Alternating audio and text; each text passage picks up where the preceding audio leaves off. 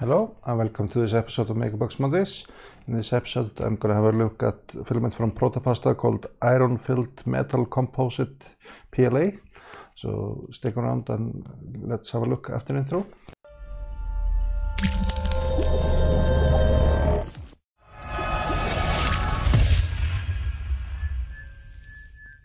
So this filament is, is from Protopasta like I said in the intro and it's uh, iron filled PLA but let's have a look at the label. And here they say print temperature should be 190 to 210 and room temperature or 260 on the bed and speed not listed and cooling yes.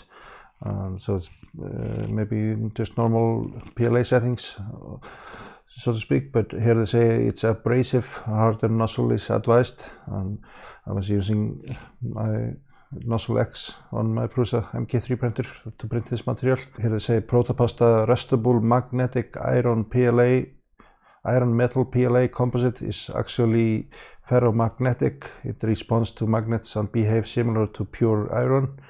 Encapsulated in plastic, the iron maintains a stable matte cast metal finish as printed, but can be rusted when desired.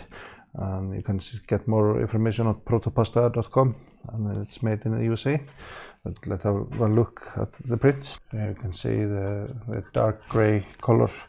It's um, looking pretty good. It has a, like a matte surface finish and really smooth uh, surface and it's uh, quite quite heavy compared to plastic. So the iron particles are, are in there. And there's a tiny amount of stringing but not, nothing too much.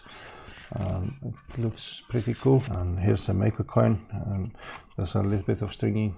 And here's my cat wanted to join in shaking the camera. Uh, uh, the letters here came out pretty good um, no issues so to speak of. So I was quite happy with this print as well. And here's the Otis model by Gareth. And here I got maybe a little bit of stringing in between the fangs or here or what, whatever it is. It, maybe tiny tiny amount of stringing. Maybe I should have lowered the temperature.